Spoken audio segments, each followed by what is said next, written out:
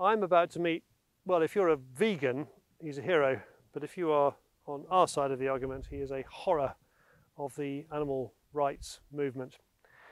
And we're using football in no man's land rules here. We're suspending hostilities.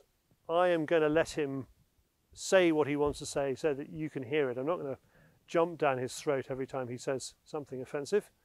That's the, uh, the, the rules we've, we've come up with. Maybe, who knows, I doubt it, we could find some consensus.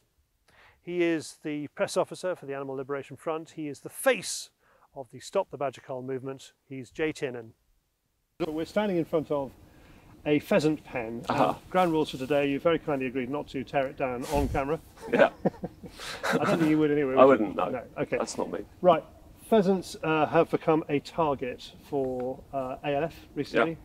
And uh, and you you're you're online as the press officer for the Yeah, ALF. yeah. And that, that is that self-identifying, or is there a sort of top-down structure in the ALF? Are you kind of being appointed, or have you agreed that? Uh, so I spoke to people within the Animal Liberation Front support group, which has been there and continued for quite some time, and there hasn't been a press officer for quite a, for quite a while. Uh, and so I spoke to them, uh, and I saw that there, with the rise of veganism uh, in the last few years, that there is a potential for a huge rise in direct action, other than hunt, sabot- hunt sabotage and the badger cull, which has seen its own, in, you know, increases in direct action in the countryside.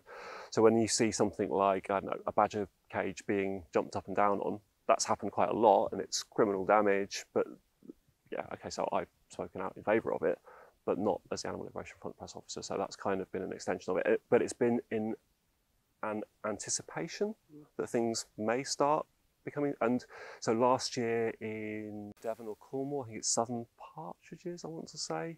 Um, um, and I helped with the story, getting it into the Times. And I felt when I was doing that, I, I was referred to as an animal welfare campaigner. Um, but I, Animal th- welfare campaign. I think I think that's Not not how. rights. No, I think that's how the the uh, Times listed me, and it, it- and it did make me think. If someone wanted to be in a position like you or the BBC wanted to talk to someone and say, what are people's motivations? Why are they doing this? Um, there isn't anyone to explain it, and I felt that it was it was becoming more and more necessary. You're sort of a bit arm's length, though, aren't you? About uh, you know, you you're not going to claim responsibility for that. Uh, you're you're more like Sinn Féin to the IRA rather than I'm not saying that I'm taking part in it myself, No. But um, I wouldn't feel particularly. I mean, there's some things that if I said, even if that I supported it, it wouldn't do. It would be difficult for me if later on I was arrested for conspiracy charges or inciting stuff. It'd be difficult for me to do it. I have to be in a kind of position where I explain what people's motivations are and why they're doing it, rather Yeah, than whether or not I support it. And clear that one up. You you have gone on record to say you know, it doesn't matter what you say in the court as long as you get off. I mean, basically, Yeah. you, you you you are keen to play the system in that. In that Yeah, way. Can I just ask about the? So we're talking about stamping on cages, which is a stop the cull activity. Yeah. Talking about uh, cutting the wire around game farms, which is an ALF, um, and then you've got the. Uh, uh, the hunt saboteurs, which is black balaclavas going out of the weekend and, and sabbing hunts. Mm. Is there a great deal of crossover between those three things, or do you see them as very distinct? Are the people the same? Um, I think with regards, no, I think there is crossover, but I think that what's happened with the badger is it's brought in a lot of people who um, are concerned that with fox hunting, the, the the friction that you have with the other side is almost guaranteed, and that they don't want that friction. They're potentially concerned that uh, they'll be attacked, or they're concerned that they may become violent. So you see quite frequently people saying, "I, I can't do that. I, I would, People on your side. yeah." Okay. so they can't they feel that they can't do uh, hunt sabotage for a number of reasons some people get over that and go on to do hunt sabotage and, and aren't involved in uh, worrying about someone attacking them um, because the, the attacks by huntsmen on uh, hunt saboteurs do happen quite frequently across the country but not on one group every week and we've just seen a court case where a master has been convicted I mean, you, there is an argument that if you are a hunt saboteur and you go out to confront lots of people who are riding hot on horses, you are going to get knocked occasionally. And similarly, we've seen hunt saboteurs beating up hunt staff, haven't we? Um, I don't expect. I think it's been quite a while since anyone's been seen to be attacking hunt staff, but uh, I don't think there should be an expectation on either side of violence. But what I'm saying is that well, there's an expectation of confrontation, isn't there? Which Yes. has kind of got violence slightly written. possibly yes. Okay. Uh, Go, go, go back to 1906. so- you, you, sorry, you want to finish that point? Okay, finish that point. Uh, yeah, so with regards to the uh, crossover, I think that there are definitely people out there involved in the badger cull. I think there's possibly more people involved in the badger cull because we have a number of people who just walk on footpaths and don't crush cages, but they might find a cage and then tell someone else. Uh, You've But got, you've got the kind of the wildlife trust movement uh, who will who will do the footpath walking in the daytime. And Yeah. You've got the kind of activists who'll go out at night. there's not, no, I wouldn't say it was day and night like a split like that. There's plenty of activists who, who can only do uh, daytime. There's plenty of activists. There's plenty of people who walk uh, if they've got full time jobs. They're walking the footpaths at night time. So I wouldn't do the night and day split. But there are certainly two different distinct groups. One group remaining very lawful, and the other group happy to trespass and happy to jump up and down on cages. Now, with regards to jumping up and down on cages, that's criminal damage. You see that all the way through the badger cull. You see it day after day after day after day after day. You do not see that in uh, fox hunting. You don't see people damaging each other's vehicles every single time there's a, a hunt going out. No, you, you, you do see uh, you know occasionally groups of saboteurs who've got a bit lost and find a pheasant pen like this and, and pull it down. I mean that happens. I don't know. I haven't seen that. Um, but I mean badger cull certainly it's it's your kind of out of badger cull season activity is, is seems to be Yeah. there's more anti pheasant shooting stuff going on when Yeah. the badger cull is not on. Yeah. So it, there seems to be a great deal of crossover from So then crossover from uh, the badger cull and the hunt saboteurs. I wouldn't be able to say which group have crossed over into uh, releasing uh, game birds, or if they, it's the same people. But I would I would guess it's, it's people from both.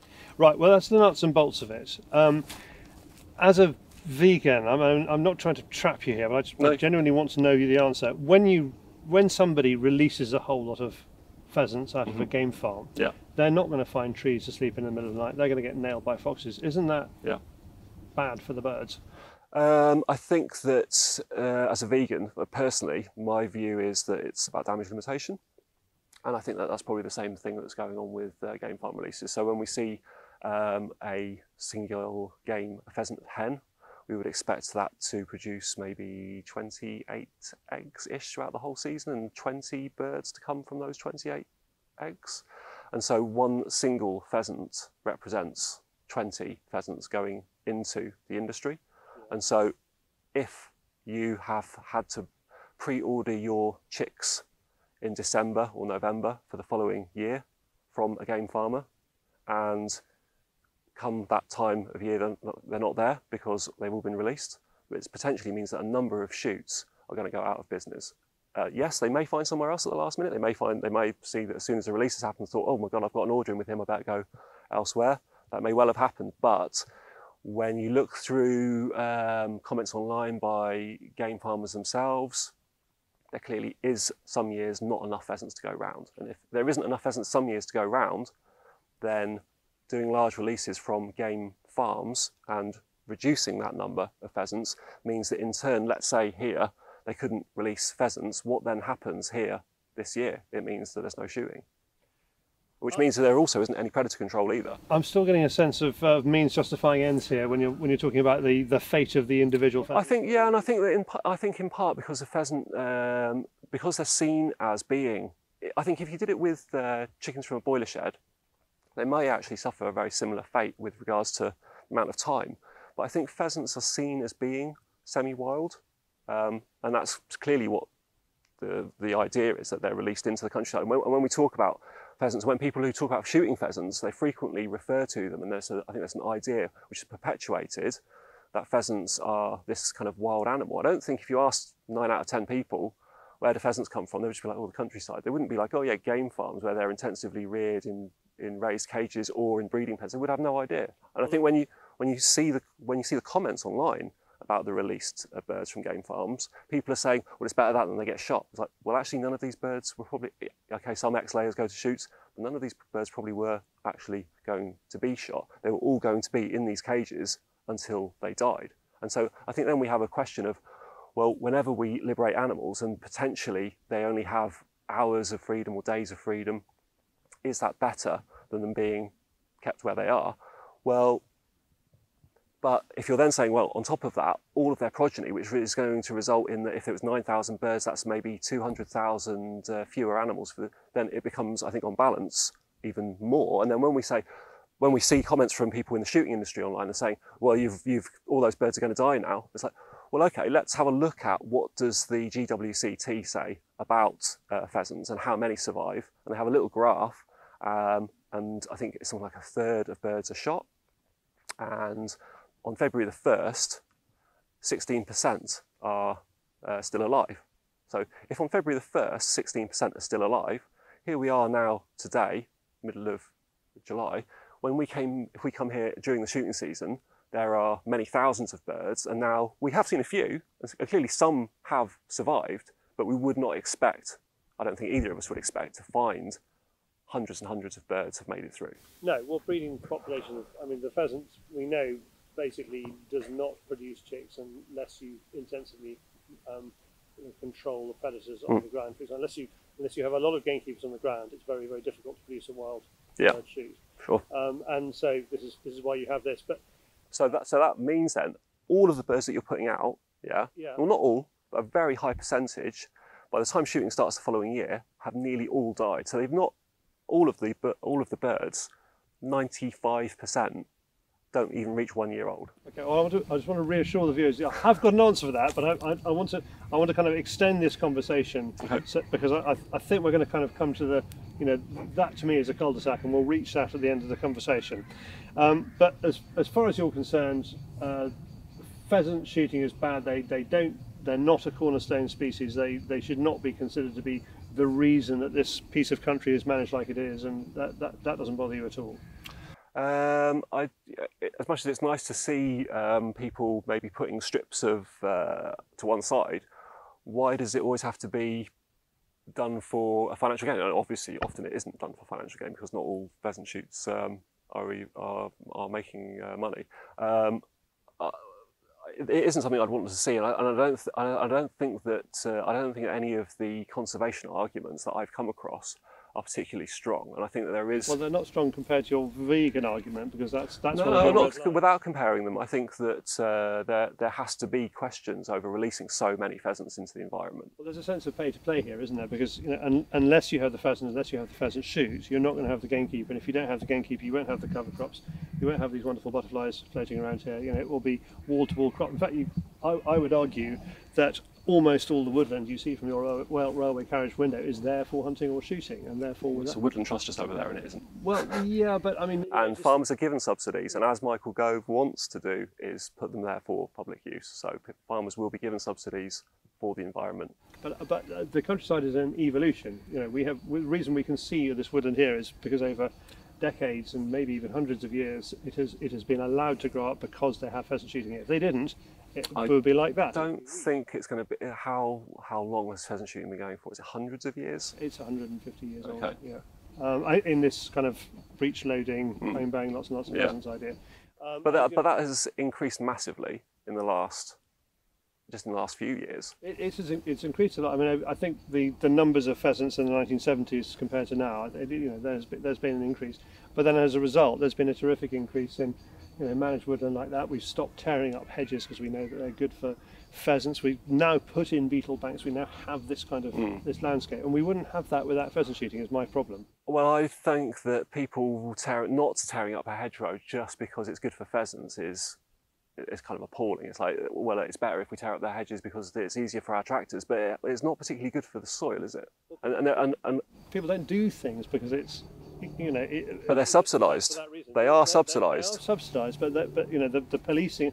Okay, so what, this was my point. We're going to come on to your kind of ideal world at the end. So, okay. but that that was that's kind of the direction of travel of our argument, and the direction of travel yeah. of your argument is you should manage this. I would also be concerned about. I think um, yeah, so. I've recently been reading um, a book called Shoot and Shooting, um, and it's written in 1951 about pheasant shooting, and he was talking about the, uh, just the numbers, yes, there were big shoots back then, certainly. But from other people I've spoken to recently, some people seem to be kind of, well, what, how I shoot with uh, a dozen of us and uh, we, over the whole day we shoot 20 pheasants. What impact does that have on the environment and You would, Okay, and, so- and, so and you would still, and you would still want these hedgerows, and you'd still want these woodlands, will, otherwise you're gonna have compared to putting down hundreds and hundreds of uh, thousands of birds in the same. All right, so I'm, I'm really, I'm really interested. You're, you're, you're kind of going in on the big bags argument because one of the things that seems to me to characterise the anti-shooting, anti-hunting movement is you are worried about the tragedy of a single bird dying, but you, I mean, most people I think on your side, uh, that's what offends them. But then if you start talking about a large number of birds, you worry about big bags as well, do you? I think that there is what agency it has when we talk about, uh, and certainly, you know, we've just recently seen earlier in the year the Times kind of coming out as anti-shooting. Well, not really anti-shooting because the Times exactly, it's a bit of, exactly the Times isn't anti-shooting. It certainly isn't, but they are very much concerned about the waste. And I think a lot of people Uh, they're very much concerned about selling newspapers, and they have discovered. they may well be, but they, they, they th- okay. Well, you found that the, the, the footage of dumping pheasants Yeah. in Leicestershire. That was your footage, wasn't it? Yeah, but I work. I didn't work by myself. I worked with uh, two other groups. I worked with the Hunt Saboteurs Association and West Midlands Hunt Saboteurs. So it was a joint effort. So it wasn't me finding it. I worked with two other groups and we worked together. It was me that filmed it though.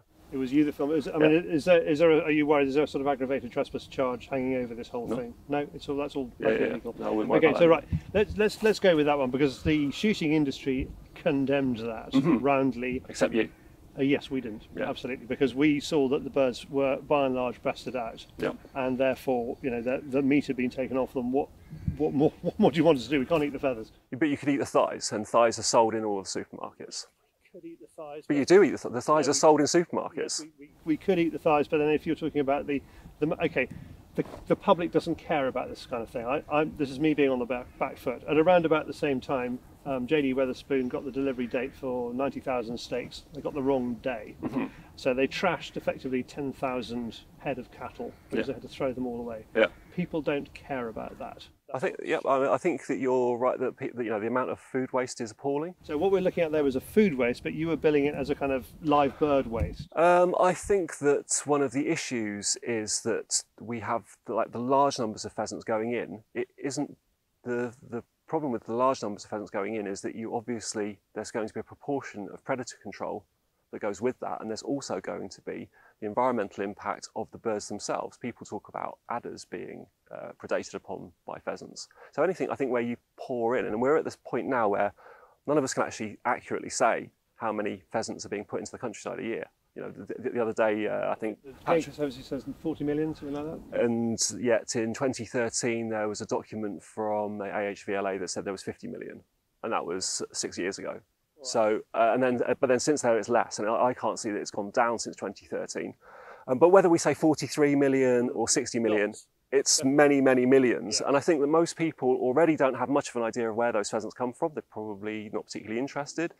Um, but when you start, but in their minds, I think most people think that they're wild birds. And so people going out and killing things, I think most people, because they eat meat, um, are of an opinion that if you kill something and then you eat it, it's like, well, that's kind of what people do, I think. I'm not saying that I advocate that, but I think that people kind of, but when you say, yeah, I killed it and then I just threw it in the, a bin because I was just doing it, I was just doing it because I enjoy But shooting. But they weren't, but you, you were offering that, that kind of flagpole moment where, as far as most of the public is concerned, those were whole birds being dumped in a pit and buried. And in fact, they were mostly, if not all, we couldn't see most of them, they, they had been breasted, They'd in all which been case the meat had been taken off. the thigh meat had not been The taken thigh off. meat had So, not been taken off, but so I- we can we can do a, we can do a percentage, and you can tell me what percentage in weight the thigh meat is compared to the breast meat. They could be fifty percent, thirty percent. I'm sure your viewers will probably know how much weight percentage it is, and then we can say, well, actually, twenty percent of all, or thirty percent, or forty percent. But nevertheless, there is lots shoot- of food being thrown away. there is. When I shoot pheasants, I have absolutely no problem breasting them out and throwing the rest of the carcass away. Yeah. That, that to me is fine, but it's not fine for you. But I wouldn't, but I wouldn't Well, advocate it anyway because I'm vegan. Yeah, of course, of course. But, But I think that the, the, the thing is that it res- it's not fine for you. I think mm, I think that also if I think that there are elements within the shooting community, the general public, and where animal rights people may be able to easily uh, attack the pheasant shooting industry with, and they're throwing the birds away, they're throwing the dead bodies away. You know, I've, Yeah, which uh, and, there, and, and there are these big bag shoots uh, where they're killing thousands of them, and Okay, got well, I think, I think you're doing, you're doing you're doing several things at once there. So you are obviously you're appealing to the animal rights community with the uh, the image of all those birds being thrown away. Uh, No, I think that's appealing to the general public. Well, no, but then you're also appealing to the general public. But you're appealing to them in a different way because you're saying, look at all these birds, isn't it terrible? Whereas the animal rights people are going, look at that one bird, isn't it terrible? And then you're also putting a, a bit of a lever under the shooting community itself because you know there is an internal argument about big bags Yeah. at the moment. So you, so basically, you get three for the price of one with that one. Yeah, and it's not just the dumping, there's multiple issues. So when we talk about lead, if we talk about lead and we say, oh, at the end of a shoot, uh, there's X number of kilos have gone, been sprayed across this piece of land, actually would be on the other side of that woodland. Um, when we say X number of kilos, if it was, uh, if it's hundreds and hundreds of birds, if it's a high bag, then the number of kilos of lead sprayed out on the countryside is obviously much higher. It's very large. But the And if it's a, only a small number of birds being shot at, then it's infinitesimally, in- infinitesimally small. And so again, if I had to argue the case to uh, politicians or to the general public, this is a bad thing. Yeah, it's the excesses of the industry that are the, that are the bad things. And if and if those bad those excessive elements weren't there, Yeah. it would be very difficult for me to argue the case for that single bird. I'm not saying I wouldn't, No. but I, I may go, well, actually, I'd uh, get more traction with the public talking about dairy cows. all right. If I may, I think there, there's there's no there's no science that says that spraying lead across land is terribly bad for land. Yeah, there There's is. lots- well, There's the lots of- Oxford Lead Symposium. There's lots of there's lots of science saying putting lead into water is very bad for waterfowl that ingest it and use it to grind up food. But No, you, there's should, you also- should be, you there's should also- be, can I give you some advice? You should be going on plastic wads. Plastic wads are the bad thing. You know, that's the, if, I, if I may. Anyway, there's also birds that have been shot that that aren't uh, picked up being eaten. Oh, not many. I mean, they're either cleaned up by foxes or they're picked up. I mean, the reason we have so many pickers up. It's, it, oh yes, okay. There is a level of cruelty in, in everything that shooting does, but there's a level of cruelty in everything everybody does. I mean, I notice you're very cleverly not wearing leather shoes today. I, but I'm sure vegan and have been Sure since the don't. 90s. but it's very difficult for you to have a footprint on this planet without, you know, badgers who live in the home you live in were not rehomed by the council. I totally agree with that, which is why I think that veganism is a fairly easily attainable benchmark, but it does not put you in a position of we- we're now all okay. I think there is still plenty of things to be talking about, and as I was saying to you before about, uh, I think like chocolate, we could argue about chocolate for quite a long time. It's, it might be vegan, but if it's not fairly traded and it's, it's not organic, it's probably still doing some damage. We could say the same about cotton. I would say the same thing about salad, having seen photographs of south uh, eastern Spain from the air and a Hmm. huge sheet of plastic. And everyone eats salad. Let's not try to make out that, No, no, no. that, that It's not just a vegan thing, Yeah. but, but I don't think you can be guilt free about eating salad. I don't think you You can't guilt, you can't be guilt free about eating anything. It's a question of damage limitation. When we talk about um, what we're eating, when people say, "Oh, well, you're eating uh, something, uh, whatever it is, it's a crop." Well, do you know what goes on with crops? It's like, well, yeah, I do know what goes on with crops, and nearly 50% of the world's crops are fed to livestock. So, if you took those livestock out of the equation, then you'd have all of those crops, but you wouldn't have all of those crops because you, there would be no point in growing them all. I'm not saying we'd obviously have to grow some because we'd need some of the calories and protein intake, but we would not need that much. So we could literally feed the world. We, uh, America alone grows 100 million acres of soya. Can you imagine how many people that would feed? Yeah, If you, I, I, I mean, there are very good examples of excessive, but I do want to get to this at the end. 'cause I Okay. think this is about, you know, wh- where you see the English landscape. All right, just going back to pheasants. 40 million pheasants. I mean, one problem you have got is pheasant shooting is extremely popular. You know, somebody is paying to shoot those at upwards of 30 pounds per bird, and around about 40% of them are being shot. So, uh, somebody do the maths for me, but that's quite a lot of hundreds of millions of pounds going in, being paid for by the 600,000 people in this country. It's a minority, but it's a big minority that have got shotgun licenses. is there 600,000 people that have shotgun licenses? And of all those 600,000 people who have shotgun licenses, do they all go out pheasant shooting? I think the Home. Office says 480,000 of them. The latest figure it put out are, are bird shooters of some kind. So those 480,000 people who are enjoying the sport of pheasant shooting, why are the rest of us subsidising them with shotgun licence costs? There's probably an argument that driving licenses are in the same area, but the point is, it's about a, it's a level of regulation, isn't it? And shotgun owners have a level of citizenship and responsibility, which uh, it, it- perhaps that's worth paying for. They do. They can. You know, you can do what you like. When, I can't. if I have a shotgun and I go out and I use that shotgun, I, every time I go out and use it, I'm not particularly paying into the uh, government. Whereas if I'm driving a car, I am.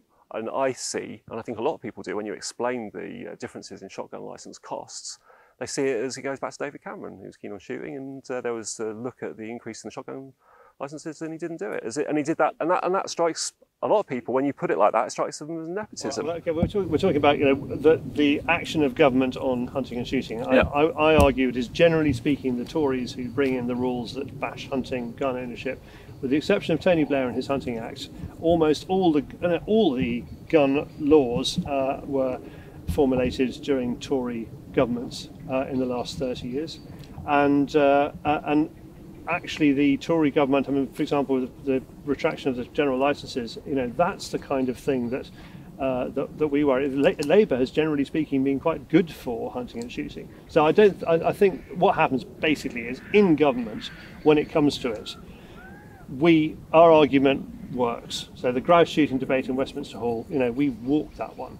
In the kind of mass of judiciary, police, civil service, the kind of the, the second leg of the stool, uh, we work about most of the time. Where we completely fail on my side is in the TV studio, where you win. When you walk into a TV studio, you know, you are a convicted criminal for what you have done, and yet you are also a, a hero as far as the TV studio is concerned.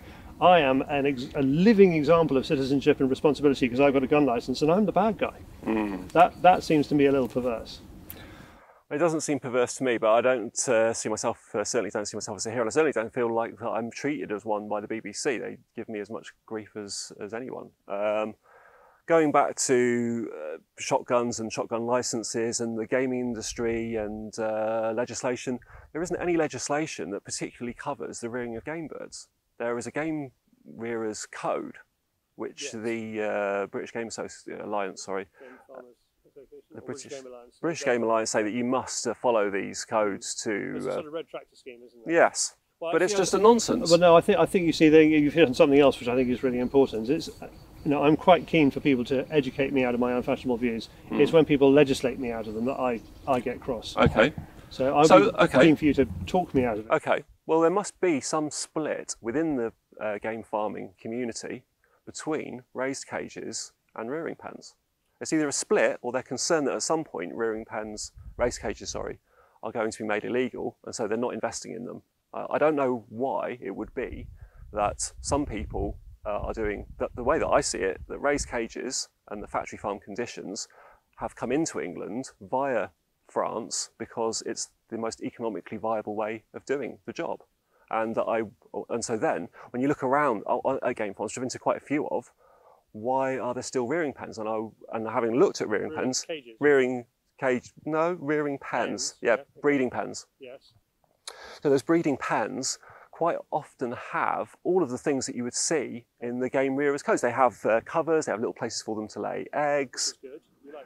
You like that? I don't say that I like it, but if I compare it to uh, raised cages, I could argue against raised cages all day long. And I think that Yeah. probably people within the shooting industry would say, yeah, raised cages aren't uh, particularly good. And even we've got the British Game Alliance saying, if you want to be part of the British Game Alliance, then you have to follow. Okay, Yeah. in the in in that code it says you, We're, heading in the right direction as far as you're concerned, aren't we? well, no, because the the, the number of cage the, the, the, the community, in the British Game Alliance, should be completely against raised cages, and yet you've got Bettws Hall with barren cages we, if, as a member. if we if we have if we have got a tendency towards what you consider to be better welfare, and I'm, I'm not. I I'm don't know not- if you have. I think you, that, you say you haven't. Okay, so but I, I think isn't that the aim of the BGA is to is to move us towards that and get shooters to say I'm only going to go to uh, BGA badge shoots because okay you you don't like certain aspects of what they do, but I think you're going to not like quite a lot of aspects of what they do, aren't they? Generally. Uh, and that's why I, I'm coming back to there. The, the, it's the excesses where the, it's the excesses where I would get political traction, and it was excesses where I'd get traction with the uh, general public. It's the excesses, and I think that when you when we say when people are saying, oh well, pheasants, and they have a mi- in their mind, they don't really think about them being factory farmed. Okay, they don't really think about them being factory farmed. They don't know how intensive pheasant rearing can be. They have no idea. Most of the year they they they they have a, a lovely life in Most of the year, they're, they're not. Well, we already know they're not alive, are they? They haven't made it past February the first. There's only 16% left, according to the GWCT, and then that's February the first. How many are left on March the first? Uh, when all of the feeders and water have been turned off. That is the tragedy of the, you know, that's the tragedy of being a, a wild animal in this country. Is you- you're, you're not going to be, you know, you're not going to die in your bed surrounded by your grandchildren. are you? No, You're not, no. But to call them wild, I think, is a little bit. If they were wild, if they're wild animals, Yeah. then uh, me coming along here and, and really opening these cages because they're wild and just letting them out, well, what's the issue? What's the issue with them being released from uh, game farms if they're wild? Well, they're not They're wild. not but- No, wild. they're not wild in game farms. no, but, but at the point at which you release them, then they become wild. But at the point at which you release them, which is uh, they're going into these cages in a couple of weeks' time. This is not a pet cage. They won't be pen. Pen. Sorry, sorry. Yeah, them in, it's sorry. to keep foxes out. Okay. But when they go into there, Yeah. They are kept there for a, for, a, for another number of. Stay there until they learn to fly. They can fly out. They can fly into this Yep. game cover here. If a fox comes along, they can fly back in again and they're Yeah, safe. yeah, That, yeah. that sounds to me like pretty good life. And then at what point are they kind of encouraged into here the whole time? When the shooting season starts? That- no, they they they they live in Rome. That's one of the problems Oh, yeah, They- yeah. You know, they. Uh, I, I know you see them. I know you see them in there the whole time, but they are kind of uh, the cages are opened up. well, you've got feeders in there, but you also have feeders out here. They go to where the food is. But you see, you see the pens opened up. You literally see, Hmm. not by us. No, but by then, but by then they're roosting in trees, and Okay. they're And, when, and when is that? What point of the year is that? That we're talking That's Sep- September. I Okay, so we're talking September, Yeah. yeah. And by so at that point they start they're starting to be what you would say wild, Well, no, they were wild before that. They were just too young to Okay. fly away from foxes. And so, but they're, and, and so they were in and so they're inside here to keep the foxes out. but, and they're wild in those pens. Yeah, it's it's it's that it's that idea where you know madness exists outside the pen. You know, And, li- life is within the pen. And so why? Uh, okay, they're wild animals, Yes. and yet one of the main problems that the game industry has is predation. So they don't fit very well in into the ecology of it all. No, so we so we we knock knock the predators back. So you knock the predators back, Yes. but we can't uh, escape the fact that. 30%, 35% are being predated upon. no, that's right. A lot a lot of them get hit by predators, but that and again is a tragedy. being and then and then a percentage are being run over. Yes, terrible, but you know. Yeah, yeah, yeah. And they and they in, and they in turn are being eaten by scavengers. Yes, that's right. So the entire pred- predator population that would eat pheasants has been artificially increased. There's a recent article entirely about this point of how the number of predators. Now I know that you're killing them, the predators, but, but, uh, in an entirely artificial landscape. I mean, if, if you know, if, if we, I want this bit I want to get onto at the end, but if we want if we want natural England to be natural England, then we just basically move to France and leave this to go back to southern English deciduous woodland, don't we? Mixed woodland, and that, that's what would happen over hundred years if we walked away from this field.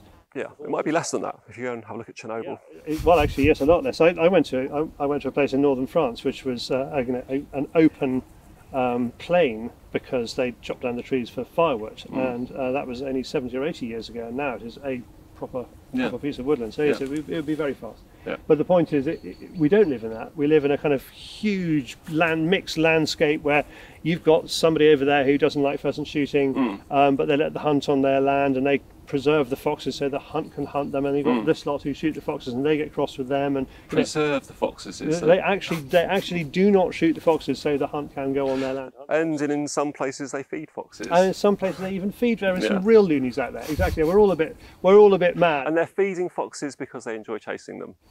No, are you talking about the hunts who feed the Yeah, foxes? yeah. Okay, I was, I was talking about the I was talking about the, the antis who feed the foxes. But um, yeah, I, I mean, you know, one of the things that But we um, see that. I mean, that isn't to me. That isn't a surprise. To see foxes being fed by terrier men to me isn't a surprise. It's like, well, they enjoy chasing foxes. yeah, well, so of course, so they're you get so they're so they're feeding so they're feeding foxes. But everyone who sees it from the general public's point of view is like, I thought that was illegal. So this this kind of proves that they're not.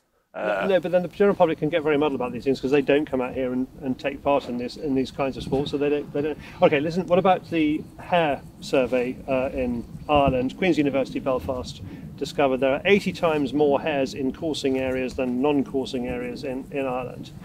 Now that's artificial, obviously. Is that a good thing or a bad thing? I think that I think that it was a similar thing. I don't know about this study, but I, I do know that uh, from I can remember back in the 90s before fox hunting was illegal, that the fox populations were said to be higher in places where fox hunting was taking place. Yes. Um, and I've met someone who was a kennel boy who had uh, disused train that was full of foxes that they would feed as they did their rounds of uh, fallen stock and feeding them, which still carries on to some degree.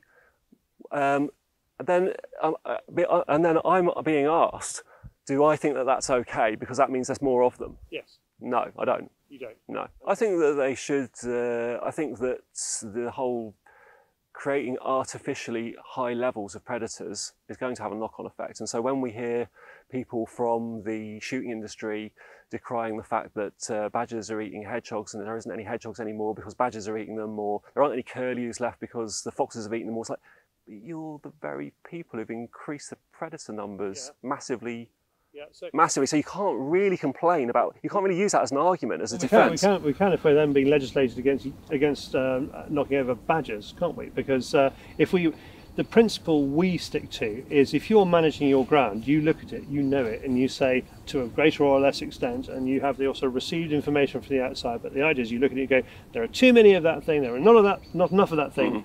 There's just about the right amount of that thing. If there's too many, you do something about it. If there's not enough, you do something to encourage them. I would say that you're always going to be. It's always going to be impossible to actually dictate and say accurately, even roughly, how large the wild population is of any predator. Exactly, it's totally subjective. Uh, I mean, So, so it that's why I would say that the, the fox population now is much higher, even in areas here, even with snares down, even with people actively shooting foxes, Because there's a lot more food. because there's a lot more food. Yes. And so then to say, in the say, and then, then to say, oh well, we've got to kill the foxes because of the curlews. It's like, well, that's not really true, is it? But if you really cared about curlews, if you were really genuinely caring about curlews, then don't breed.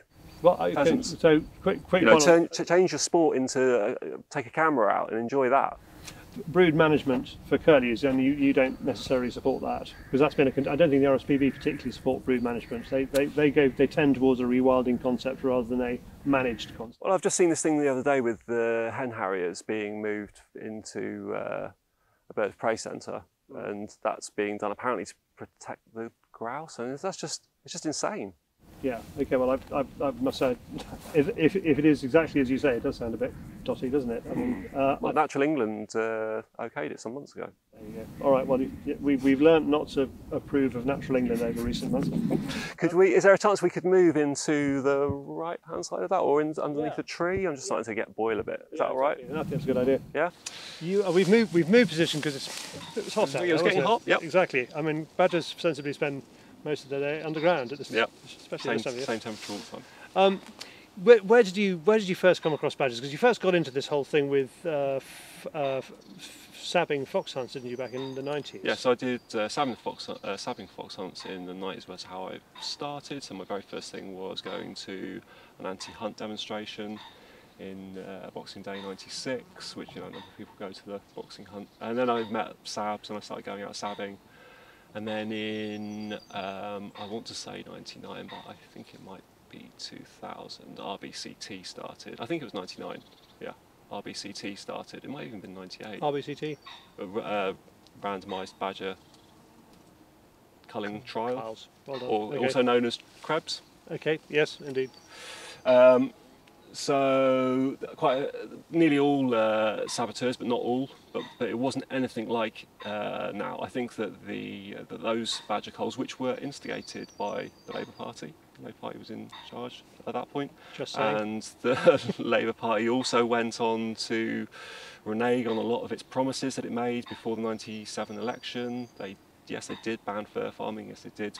Uh, put laws in against fox hunting, um, but they didn't have a royal commission against vivisection, and they did bring in tougher laws against people campaigning against vivisection. I mean, they, they made So the fox hunting Party- amazingly popular by, by restricting it. They didn't really ban it, Yeah. and and the restrictions they put in, as we've seen, just don't work. Yeah. and now everybody wants to change them. But they did ban coursing. They did actually forbid coursing. So that I Mm. mean that's one thing that you might argue was good. Yeah, I think the ban- banning of fur farms was good. Okay, all right. I think that was really positive. But uh, you had, you had a number of things you could have gone for there. I mean, at the, at the time there So were the Monsanto crops. I mean, there was a lot of uh, animal Yeah. welfare rights area you could have. But you headed for badgers particularly. Uh, I, at that point in the late 90s, I didn't. I was, ju- I was, that was just one of many campaigns that I did. So I wasn't uh, particularly a spokesperson. I was just another person walking around out in the fields looking for cages. And uh, we used to have a, quite a different. The cages were much more robust. You couldn't, you could just about between three of you crush one, but you pretty much needed bolt cutters. So there was a whole cat and mouse act of taking bolt cutters uh, through the countryside, having to hide them in stashes, finding them going back, rah, rah, rah, which we don't really have. So it's like great rock bands. You prefer the early stuff. You know that, that was better. yeah. I don't know if it was better because there was very few of us. Hmm. Um, that you would have culls and there would be uh, five people maybe or ten people in some areas. And whilst we do still have culls now, um, where there are areas where there's very few people, and especially now as it's rolled out and rolled out and rolled out, there are still some cull zones that may have more than 100 people in them at a, weekend. But you're talking about the kind of the wild, wildlife trust support group rather than the core. Uh, I'd say across crushers. the board because Okay. I say those because everyone is does is making a difference. Whereas during Krebs, not or RBCT, we didn't have those people at all. No. In fact, I think it's the I think it was Krebs coming out with this. It doesn't make enough difference. It isn't uh, worthwhile undertaking killing badgers. That cemented that for a lot of people who probably were fence sitting who maybe shouldn't have been. So I think maybe badger groups certainly weren't coming out uh, in favour as much as they were. You know, when, when we had the badger camp badger in Somerset uh, in 2013, we would have people openly from badger groups from across the country coming to visit us, maybe take part, maybe give us donations. Um, That was a little bit more like a kind of like a, a, a um, like an anti-nuclear camp, wasn't it? That was somewhere you could go and express your your anti-badger cull feelings. Did they then go out and crush cages at night? Uh, Those y- people. w- the people who were from the Badger Trust uh, group certainly didn't because they were uh, would have all have been uh, the, much more on the patrol side, but they certainly would have gone out into the night. There were meetings every evening at uh, 7 or 8 p.m. in the car park, and uh, you get mm, 50 to 100 people turning up for those, and, and, go, and that was just the lawful side of it. And then we'd have uh, the cull zone split up into uh, five or six different areas, and then different hunt sab groups would be taking on those areas in uh, alongside other people who were just turning up, and so they'd, they'd come to the, you know have people coming to the camp and going, oh, what should I do now? And you'd be like, meet this sab group. You're over in this area, and then they would start becoming. I really like this. I know this area. I've worked. You know, if you could imagine if there was a badger cull here and there was a sett there, and I travelled from the other side of the country, and I was. I'd seen shooters come to this gate, and then I'd uh, put my torch on, and they'd uh, scuttled off. I'd, I'd, I'd have a very strong feeling of wanting to protect this particular sett, and, and, and that that did have some logistical problems uh, going on in time. People get emotionally attached to the area, and that makes complete sense. But it may make more sense for them to move to another area. Sometimes. I've got to ask you about your. I mean, you you, you were in the army. Yeah. Um, but, and this sort of only sounds sort so- of lo- like a logistical army military operation. But does was Yeah, that have no. a, in I don't think that it does. No, I think most of my strategies and tactics that I've learned and picked up are campaigning strategies and tactics, and most of those I've learned from campaigning against vivisection in the late 90s. So they're not. Uh, and then some things I've had to completely learn from scratch are uh, press. Uh, never had any experience before with press, um, and then social media is completely new. So you call yourself kind of placard waving rather than Che Guevara. Well, um, when I first started doing campaigning against, uh, I, I, I'd, I'd been on a few hunt sabs and I went to uh, Manchester Airport and I was actually digging tunnels with Swampy. I don't know if you remember him. Remember Swampy? Yeah. And then someone said, "Oh, um, we're going to this vivisection, uh, anti-vivisection demonstration," and I said to them, well, "What's what? What are you doing?" And in my mind, I thought we would be turning up with placards and uh, around a town centre and just saying, "Well, this is bad. Stop doing that." And I was like, "Are we going to do that?" And he said, "No. We'll go in. There'll be a few hundred of us. We'll jump over the fence. We'll get the dogs. We'll run off." And I was like, "That's yeah, that sounds brilliant." And uh, That's much more your thing, isn't it? and Don't- I ended up on the roof with a beagle, and I went to prison for that. you went to prison for that. Okay. Yeah. How long for? I went to prison for five weeks. Right. Uh, and uh, uh, going back to the badger cull, um, what were your? You must have bumped into the police a lot, and they must have known that you had this history, and therefore you're likely to push, if not break the law. So are we're talking Talking in Somerset. Somerset, yeah. So we come across the I come across the police quite frequently, and um, I think um, I'm, they've never seemed to they've never really talked about cages, and they've never really put any. As far as I'm aware of, of the six years, I think only one person has been prosecuted, and th- I think they may have lost their job over it Hmm. because of the nature of their job. But I think they pleaded guilty. They were kind of banged up. I think they just climbed over a wall and they were caught. But that's one person. We've had we have hundreds of cages across the cull zones. Are you saying that week. because of the kind of low policing level, it's kind of legalish? No, well, I would have thought that. I would say that now that you know nearly anyone can get away with anything if they put their mind to it. But I think back in 2013, we saw huge sums of money being spent by the police, and the police had uh, the thermal imaging, the night vision kit to, to catch us, but they, they didn't seem to try to catch us jumping up and down in cages. What, what did what did prison teach you about the kind of the limits of how far you can go, what you can do? Well, before I went into prison, I was obviously like anyone would be. Well, what's prison like? Is it how scary is it? And uh, people reassured me, although there's still obviously a concern that animal rights people are pretty much left alone. And I spoke to someone who'd been uh, in the 90s who, who, who said that in his 20 years of doing animal rights, he'd only ever come across one person who had had real troubles in prison. And he said, and if you met him, you'd understand he was, he's a very annoying person and would go out of their we, way. We have annoying people on the shooting side as well. I can, I, can, I get that. So they were basically just keep your head down, don't get involved in drugs, um, and but, you'll be fine. But you didn't come out of it going right. I've got to kind of tone down my activity a little bit. I've got No. to. No. I mean, So when I came, so when I came back into uh, animal, so I, I stopped doing animal rights in the late 2000, and I started again 2012. In my mind, I was kind of prepared to be given a one-year prison sentence or spend one year in prison.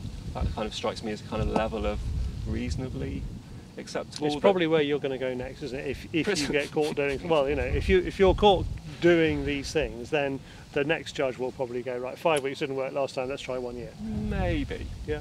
Maybe. I'm not. I'm not. Uh, you know, I've, I've already had one suspended prison sentence since I've been doing this, and Okay. it wasn't for anything I, you know, it was because I broke an injunction. Okay. Right. So yeah. breaking an injunction gave me uh, an eight-month suspended prison sentence, but it was two months for this, two months for this. Two, one of those two months was filming someone who was a cull director, Mm. but I filmed him in the process of breaching multiple uh, Badger Cull license regulations. Right. But but but, that, but, but But because he had an injunction, I wasn't allowed to film him. Yes. Well, from a legal point of view, you, you can you can see the point there. But Yeah, yeah, I can completely. But all, that but that wasn't going to stop me from filming him. No. Okay. Um, let's talk a little bit about your your kind of um, your compass in this this this area because I, I- think we, what we see is you know there's, there's the laws of the land Mm. and then there's the laws of the land as sort of mildly adapted by you. Is that fair to say? I mean, you you know you are prepared to do things which are clearly against the law, although you don't have to admit that. I'm, I'm Mm. going to put those words into your mouth, and and so where where are those lines drawn? I mean, would you have you ever got into a fight with somebody over this issue? Actually, a, a human. Yeah, yeah, I have. Yeah, so that's uh, one of the things that in the '90s stopped me from uh, going hunt sabot- habit- doing hunt sabotage. Hunt sabotage. I was unblocking a badger sett. So uh, back then it was lawful to fill in badger setts to stop the fox from going to ground, uh, as long as a, yeah. I think a straw or a stick could be pushed through Okay. the soil. It was legal. Mhm. Um, I came across it, I was uh, unblocking it, and uh, someone came up to me and started strangling me, and I was face to face with them, and they were much smaller than me. And in my mind, I was going through a process of how I was going to just basically, it was going to end up with me punching them in the throat, getting them to the floor, and doing serious damage to them. And I, I, don't, I didn't know, I was just stood there like just going, just, just you know, I was just pushing them off Hmm. which wasn't very difficult. But when I walked away from it, I was quite shaken. I was thinking I got really close to really hurting, like starting to fight then. Mm. And for what? Some horrible little toe rag. And if I was, if I was actually going to go out and really do damage to another person, surely that person should be don't the, the, the CEO of some major corporation. But you, Why would, why would I want to go to prison for beating someone up No. who was nobody? Well, it just okay. doesn't make any sense at all. Yeah, so, well- so, so what I'm saying is, there's a philosophical point there, but I mean, it, it's so basically it is still it is still possibly in your kind of in your view attacking of the people world. isn't for me. Right, not No. okay. But if they were the CEO of you know Badger Killers United or something Yeah. like that, I mean, what, what how And if someone else did it, if somebody else did it, yeah. you would represent them. I wouldn't particularly. I wouldn't be difficult for me to represent them because we're supposed to be non-violent. So uh, ALF is can be. I mean, uh, No. I mean, uh, is it aggravated trespass or crim, it's the one yeah, where but that's not violence against a person. okay, right. So basically, violence against the people are fairly sacrosanct. So if, if I am if I were a badger culler and I came across you on a dark night, I'd be Mm. thinking, well, at least he's not going to hit me. Yes, Okay, you definitely think that. good. But if Okay. you uh, got out your torch and started swinging at me or got in in my face and you shouting, defend yourself, Possibly, yeah. Okay, fair enough. quite possibly, right. I might not. I might just, uh, you know, I might have a camera on and think, oh, this is great. you're- I'm going to film you attacking me. Yeah. Okay. Um, what about what about criminal damage though? So cage stamping. No problem like with it. cage. So I've done quite a few cages in my time, Right. so I haven't got any problem with that, and I haven't got any problem admitting to it. There were there were issues up on Exmoor. There was a farmer who claimed somebody had emptied his diesel tank into a swimming pool. That isn't good, is it? I don't think uh, emptying diesel into anything is good. No. And I also heard of a farmer who had uh, human feces put into a swimming pool, which, uh, whilst isn't much fun, isn't doing any real damage to anything. You know, I think di- putting diesel out. Not so good. Okay. No, it's not, is it? It's, it's poisoning the, an ecosystem essentially. Yeah. So you so you're you're, you're against that from on environmental grounds. Yeah. But, but supposing it was, I don't know, supposing you had a tanker full of blackcurrant juice or something, you put that in. If it was cow slurry, know, it's be like, fine. Well, that'd be funny. Okay, it'd be funny. All right, so that, I mean, there are these, are, these. I mean, that would be quite a sort of, you know, you're in the kind of five figures area of, of solving that problem if you're that farmer. Five figures in pounds, so that's that's quite quite a lot of criminal damage. A, a cage is about what is it? 20 100 quid, 100 80 quid, yeah. Okay, so two figures for Yeah, stamping on that. but it might be two figures to stamping on it. But if you do, but from a criminal point of view, if you do multiple ones, or if you were, uh, you could be arrested for conspiring to commit criminal damage. Mm. And if you go over a certain level, it's many, many, many years in prison. So it's not too to be taken too lightly. You do have to uh, safeguard yourself. You do have to take some counter security, you know, me- me- measures. If you were going to go, if you, uh, you know, if I found a stash of 100 cages just there, and I was thinking, right, I'm going to smash all these 100 cages. That's 10,000 pounds worth of criminal damage. That Yep. puts me potentially, if I got caught, into the into an arena where I go to prison for many years. Yep. I would not be chatting about it down the pub. No. I wouldn't be bringing my mobile phone here. I No. probably wouldn't be driving past a house that's got CCTV. no, sure. Yeah. You're, you're, and, I, and, I, and, I, and I certainly you know you're on YouTube, don't you? and I certainly wouldn't be saying uh, afterwards, I once smashed 100 cages. I've said to you, yeah, I jump up and down on cages, Okay. singular. But- I haven't conspired with many other people to jump. I haven't. And as far as and as far as representing somebody who does these things Yeah. is concerned, I mean, as the ALF press officer, Yeah. you are happy to go up to, but not including uh, somebody hitting somebody. That's within the that that is within the remit of the animal liberation. Do you have a sort of ALF charter? Yeah, yeah, yeah, and Okay, not hurting people or individuals is part of it. So you couldn't set fire to a barn full of uh, cows to put the, the cattle farmer out of business. No, but you can, but you can release a whole lot of pheasants to certain death. Uh, uh, yeah, but you couldn't set fire to them or uh, go and kill them all. They're taking their you- chances with the You do. Well, they're taking their chances uh, with the wild, and the, that is a finer point. But you're not, you aren't doing, uh, you're not inflicting the violence to the individual. I mean, I think what would be great for the game farms, or for the pheasants from the game farms particularly, is if, if you could restrict your cutting the fences from the game farms to daylight. They, they have a chance to get into trees. Okay. If you, if you could bear that one in mind, that'd be very helpful. I don't know if they'd have a chance of getting into trees if they were brailed, and uh, again, you know, braille the game. But if it's a covered uh, cage, they won't be. Okay, so the the two. Check it first. So the no, that- that's right. They're not supposed to be brailed if it's covered. Yeah. I can't remember what the exact They are. rules That, are. well, okay. they are. You, you know the rules. I am telling you that. I'm Okay. telling you that All for right. a fact. With the the pens, the breeding pens, their birds are not supposed to be brailed if they are covered, Yeah. Okay. We, but they are. we, we are all committed to stamping out bad practice in it as we see it according to codes of practice because we are happy to be educated about these things. What I'm worried about is that you're also kind of representing a slightly authoritarian view where you are you would like this to be enshrined in law and the police to come down hard on people. I, I, I want to be taught not to do these things, not Oh. bossed. Well, the, the DEFRA spent half a million pounds on a report looking at what would be best for, Uh, sounds marvellous. mm, Half a million. That's and barren cages shouldn't be a thing. I mean, if you're going to spend, if the government are going to spend money on it, and you're talking about, well, Mm. I let educate me into it. Yeah. Well, game farmers have been told, and there is a game uh, code, well- and it's all there, and they're completely ignoring it. So when you're saying, well, I'd rather be educated into it, well, there's a code. It's Yeah. been ignored since 2010. Nine years later, if the Labour Party got in at the end of this year, and I'm pushing hard within political lobbying Yeah. to end raised cages, or, or to end any element of your shooting industry that, that has huge ramifications, you may be sitting there going, well, that's not fair. I'm being legislated against. I want it to be educated. It's like, well, you had quite a few years. Well, I, I mean, maybe maybe that maybe the, sort of, the the sensible version of animal rights is is I mean, I wouldn't do naming and shaming uh, unless it's people on your side, but uh, maybe the sensible way to do it is you you know you take the photograph and you hand it to the game farmer next day and say, you know, you're not supposed to do this. It says Mm. so in the code of practice. Mm. What are you going to do about it? Yeah. Maybe that would be a kind of completely legal, non-violent. Well, maybe I should well, maybe walking into game farms and filming and getting his attention and just waiting and calling the police and calling trading standards But that so and that calling you and saying, Yeah. well, what are we doing? what are we doing? So that to me that sounds like a kind of better version than going in at night and cutting wire or stamping on cages. Anyway, well, that's I'm not, I'm not going to say That sounds like a good tactic. Okay, I think that might have been consensus there. That's that's amazing. All right, one one more thing. One more thing about Compass. Uh, a lot is made of the fact that, or a lot is made in uh, pro hunting, pro badger culling uh, side about your your change of name. Mhm. So, they your name is down as Gamal or Jamal Ebo. No. So, no. so I was born Jamal Ebo. That- Is that an Egyptian name? No, it's Lebanese. Lebanese name. So I was named after Jamal Abdel Nasser, who died in September 1970. I was born October 1970. And then. you don't sound terribly Lebanese. No. How's your Arabic? Well, Not it's good. Uh, and so then uh, around 2010, I decided not to. My parents uh, split up when I was two years old. In 2010, uh, I got to 40 and I was thinking, I've still got my dad's surname and I'm still using it all of the time. And my dad's never done anything for me at all. He's not there for me. He never has been there for me. He's never shaped anything I do. Uh, and I felt that it was the right thing to change my surname. So I changed my surname to Tiernan, which is my grandmother's maiden name. I was going to say because you know if you've got a name like Jamal Hippo, Yeah. why change your name to Tiernan? It's Yeah. even more Yeah, complicated. yeah, yeah, But you did that. yeah.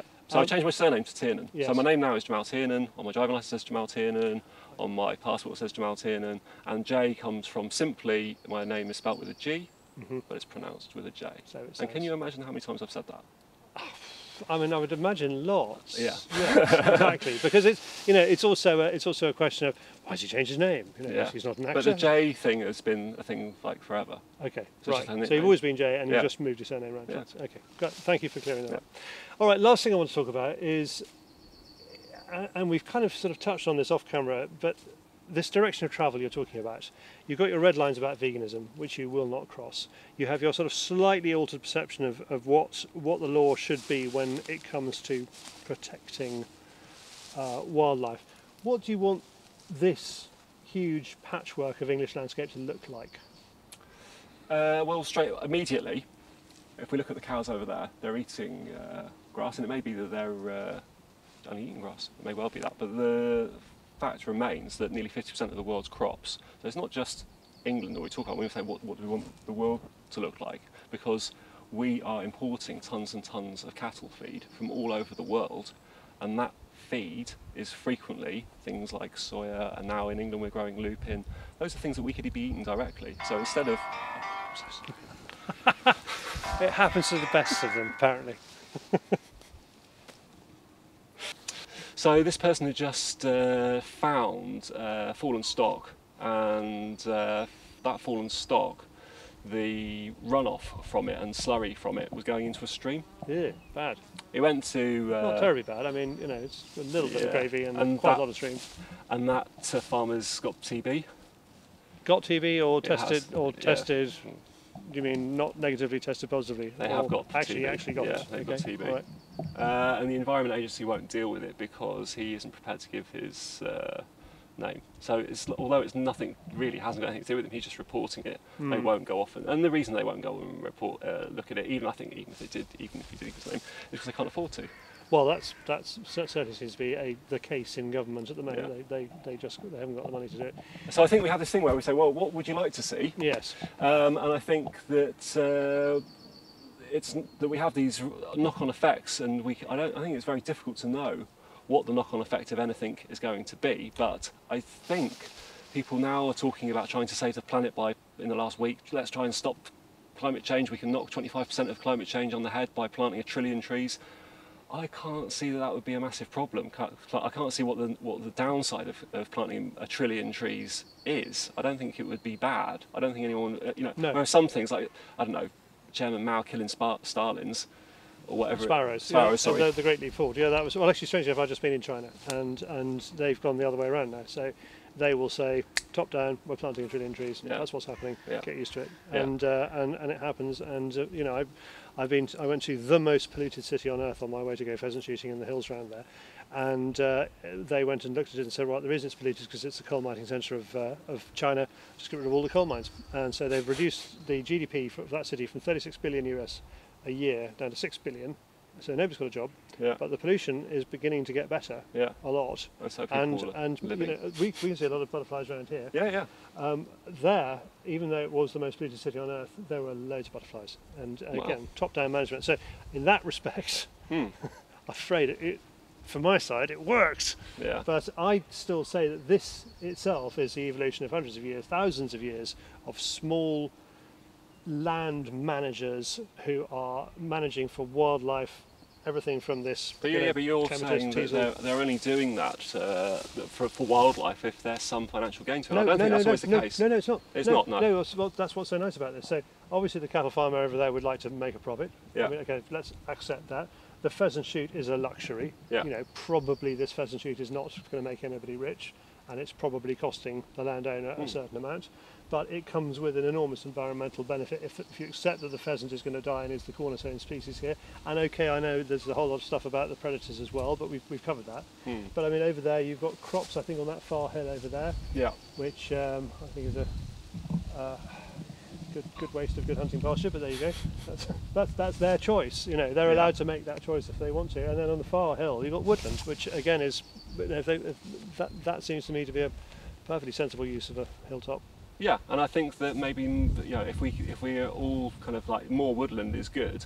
So Uh, you're- and so so you- how are we going to get to more woodland? And Yeah. it strikes me that the, the easiest route to getting to more woodland is reducing the amount of cattle. All right, but you're not but you're not against apart from apart from these red lines about about actual sentient, conscious or you know empathetic, depending on how far you want to hmm. go down that line, beings.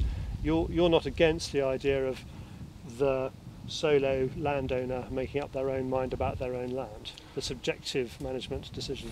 I've really, I mean, that isn't the kind of thing where I've really ever thought about. I haven't really thought about how an, an individual, you know, I, we could go on. Should landowners be able to pass? You know, should land all be state owned? Where is, where's my, what, why is this one Do, person? do you think that? I don't know. You know, I, I don't really have any strong thoughts on it I, because I, I think that I don't have strong thoughts on it because I don't think that there's any political system in place that I could uh, get behind which would give me access to my own land. The only way that I could get access to having one of these fields down here is uh, by probably capitalising on other people's work to make enough money to be able to buy that, and which is never going to happen for me. So why should I really be talking about how this other person should be behaving? What I would say is, I'd like to see anyone behaviours in the common good, and the common good not just being the common good for us uh, per se, but maybe the long-term common good for the entire planet. And I think that veganism, for me, would help go you know, a long way towards that. The more people who don't consume livestock, the less you know, that field over there doesn't need to be cows. That field over here is also used for cows. That means that both of these fields could be woodland. Has this chat been helpful? Has it been helpful for me? Uh, hasn't been unhelpful. and we reached we reached one point, which is you know it would you did say it would be better for you to to go to a game farmer in the daytime with a camera and overturn some I would. I can see that as a as a positive, tac- a, a useful tactic to do. I'm not saying that that's the only thing people should do, but I certainly think people should do it. Yeah, why, then why not confront people? You know, as long as you're not uh, screaming and shouting in their face, it, if you want to get a positive response from them. But that doesn't mean that that person's going to change. I mean, I think that you'd probably be doing it to highlight the fact that these things go on, and when you know we see people going into say pig farms we wouldn't I wouldn't expect that the people who are going into those pig farms expect the pig farmer to go, yeah, you're right. I think that the people going into pig farms are trying to show the general public, look at these pigs, look at the condition they're in.